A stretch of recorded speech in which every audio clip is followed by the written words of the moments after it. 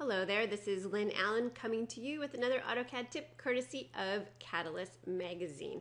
And I'm coming to you from freezing California, even though, of course, California is not supposed to be freezing. Hello. I hope wherever you are in the world is much warmer than it is here. So the tip that I'm going to share with you today has to do with tables. So if you use a lot of tables, I think you're going to love this tip. So of course I have a drawing file with a table on it. it makes it much easier to demo tables, right? At the very bottom of the table, you will see this grip. It's a light blue grip in the shape of a triangle. And if I hover over it, you're gonna see table breaking active on there. Oh, what does that mean? Well, that means that I can click on that grip and I can actually create more than one column for this table. And you'll see the shorter that I make the column, of course you're gonna see the further, the, the further off, off the page is gonna go and the more columns are gonna, that are gonna show up. See that? All right, so let's make them somewhere, I don't know, in the middle, something kind of like that. You'll see why in a minute.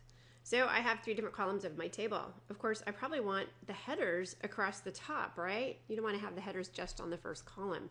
So to do that, I'm going to go over to properties.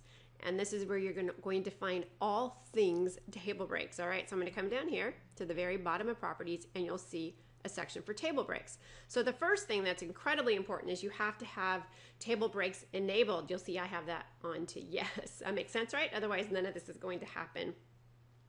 You also have control of the direction. You'll notice that mine went off to the right, but you could have had the columns go off to the left or even underneath. So nice little visual there for you. And I, of course, want to repeat the top labels. I'm going to turn that to yes, and that looks a little bit more like it, right? As you can see, they're not quite even. I might want to manipulate those a little bit to get them a little bit more even, but it certainly is on the right track. So back to table breaks, a few other things you can do. You can repeat bottom labels. Um, you can manually control the spacing on here. So for example, if I change this to 30 and you watch the screen, you will see that they got a little bit further apart, right? Okay, the larger the number, the further apart they're going to be. You can also manually control this completely up to you. There's a lot of ways you can control this. I'm going to, for example, come over here and manually control the height. So this isn't just for um, the first column, it's for individually manipulating the different columns for your table. So I'm going to say I want to manually control the height. I'm going to say yes. Okay, so now if I come out to my tables, see that I can come over here and make this one longer. You can see that's going to change the last column, right? make it shorter. That means the last column is going to get even longer, right?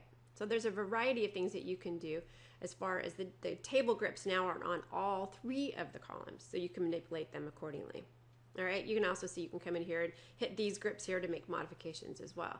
All right, so try table breaks. Table breaks are awesome and they're super easy and they've been there for many releases of AutoCAD. You probably just didn't know about it, but now you know.